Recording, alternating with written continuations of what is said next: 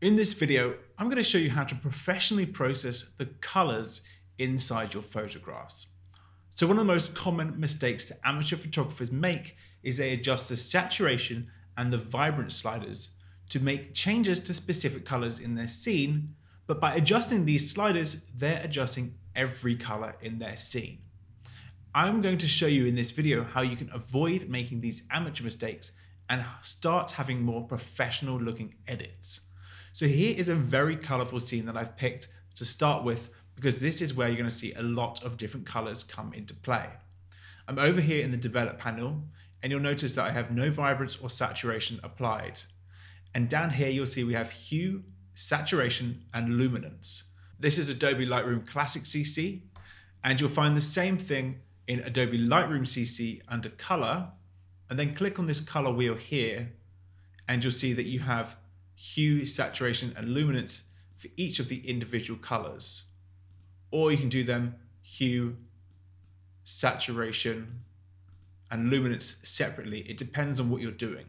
If, for example, you want to bring out some of these oranges, you might want to start with just a color and select, okay, orange here, I want to adjust the hue of the orange, make it a little bit more red, increase the saturation, reduce the luminance, or you might want to select a color like so.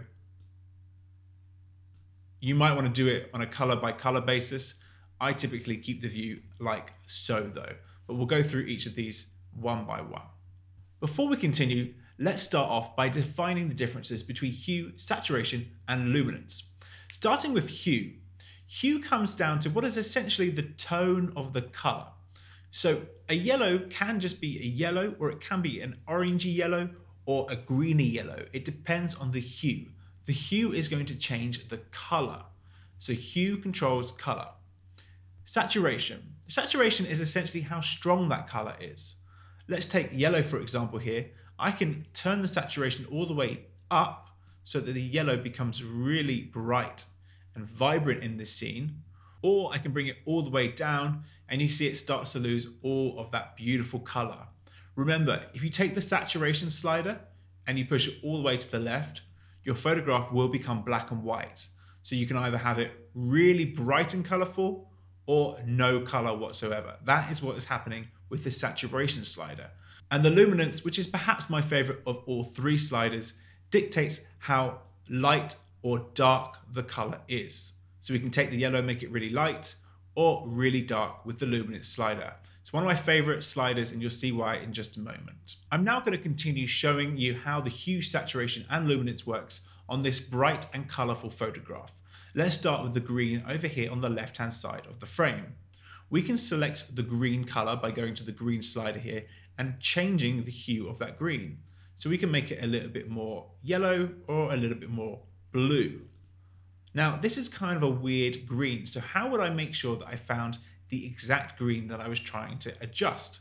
Well, I can try and find it using these sliders, or I can select this tool up here, which is the Adjust Hue tool.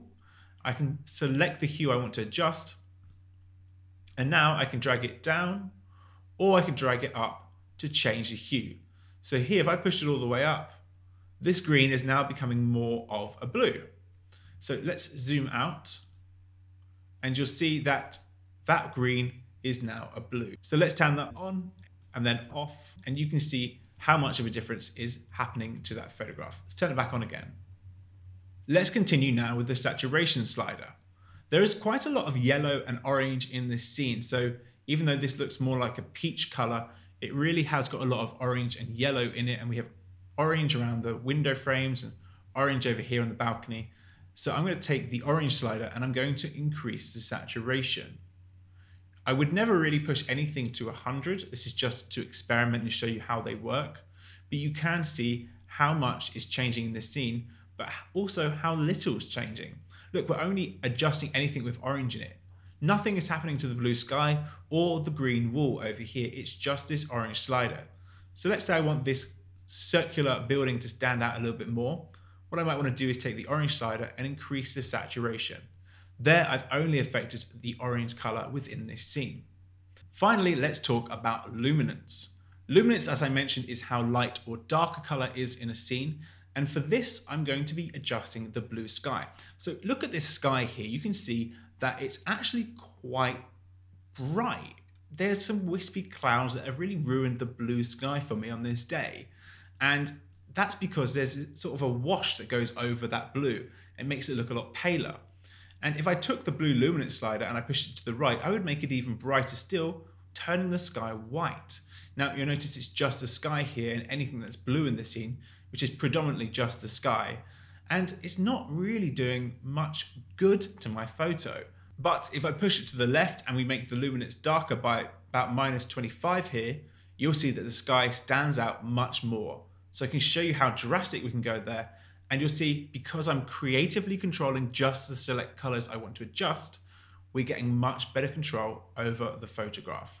Let's take what we've just learned and move on to the next image now. So this was shot in Iceland and it was in March, I believe. So we have quite an overcast sky with a little bit of blue up here and we have some, I guess it's, it's kind of like a brown orange grass from, um, well, the weather. You can tell the time of year, there's not much green growing in this scene. So we've got two main colors I want to adjust here. First of all, I'm going to take the luminance. I'm going to go up to the blue here and I'm going to bring it down a little bit just to make the sky pop out a little bit more. Uh, that's probably around where I want it. Let's take some saturation now and we'll go to the river. There's a little bit of aqua, a little bit of green in this river, but it's very subtle. So I'm going to take this and I'm going to push it up. See if I can't increase that saturation just a little bit. Not a lot is happening there. If I wanted to, I would probably try and use a brush instead of the slider for this area. And then let's finally have a look at the hue here of the grass. Um, I actually quite like the color of this, but let's see if we can change this to something else. Maybe we make it a little bit more brown. Uh, it depends on your style, or what's your taste. You know, we can make it look really green. I think somewhere close to home, but maybe a little bit more brown would be good. And we could even increase the saturation. So we see that that affected the orange and the yellow sliders here. We can do the same to the saturation down here. And now this stands out against that blue background and contrasts with that white quite nicely.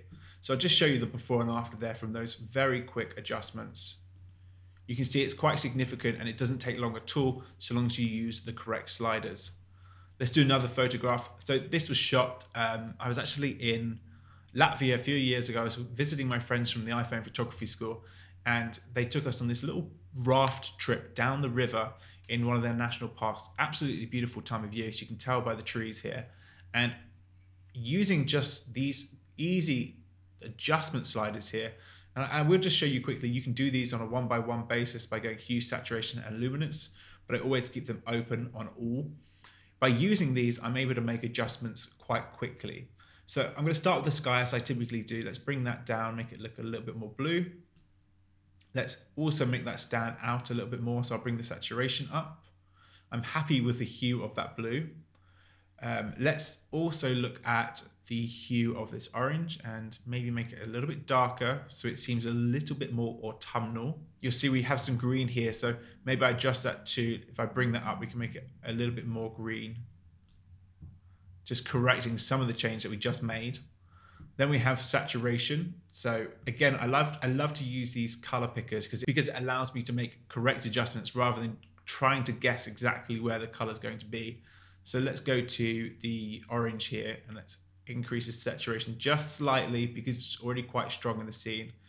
And that stands out nicely against the green, which isn't having the saturation applied to it. So I think that that makes it pop out and contrast a little bit better too. And there's not much more I do in hue, saturation, and luminance here. I would probably do quite a bit in the in the highlights, shadows, whites, and black section. But you can see just a moment of editing has enabled me to change the colors and make them stand out a lot more in my scene. Finally, let's look at this photo here. This was shot in Hawaii at a green sand beach on Big Island. We have two major colors here. Well, three really if you include the green. We got a little bit of green here, the aqua in the water, and some brown orange in the sand over here. So let's do pretty much the same thing. I want to go and have a look at the saturation of the water. I'm going to go straight in for this area here, which we can see a bit of aqua, and increase that saturation. Because I'm making a minute adjustment, I'm only adjusting one or two colors, aqua and blue, which you could even argue is the same color here. Because I'm doing this, I can push this to plus 40 without making the photo look really garish and over the top. If I was to do this to the whole saturation slider, it would be a very different story. I couldn't push this as much as I can by using selective adjustments. Then I can take the luminance, I can go to the sky here, and I could try and just adjust this blue, bring it down a little bit. You can see that adds contrast to the clouds, which I really like. Blue's maybe a little bit strong. We have this green of the green sand beach here.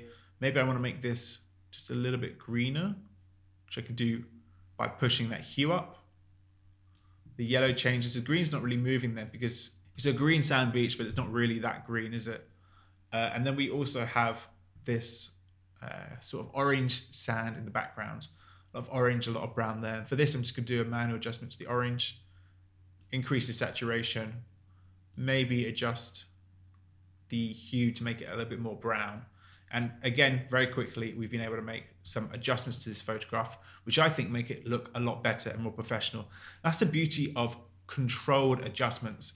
Amateurs typically use a saturation slider or a vibrant slider, and the end result is it looks too clownish. Uh, you, you know the look I'm talking about. Some people just go with their slider and it just looks like a clown has painted the scene for them. Using these selective adjustments make sure that you have as much control as possible. So with that covered now, let's go over to Adobe Lightroom CC. You'll see the same thing as before. Um, I will go and make quick adjustments. Let's I tell you what, let's reset this. Uh, so I'll reset that. I'm going to go to hue. Then I'm going to use the color picker here for hue, saturation, and luminance. Um, you could also make point curve adjustments here, but I'm just going to use the color, hue, saturation, and luminance. I'll select the color and let's change the hue. Then I can go to saturation and I can go to saturation for the orange there and luminance. I can select this up here and make the sky a little bit more blue like so. So basically exactly the same thing, designed a little, little bit differently. Um, and you can do things on a per color basis, or you can do it on a hue, saturation, and luminance basis. The interface is different, but the end result is the same.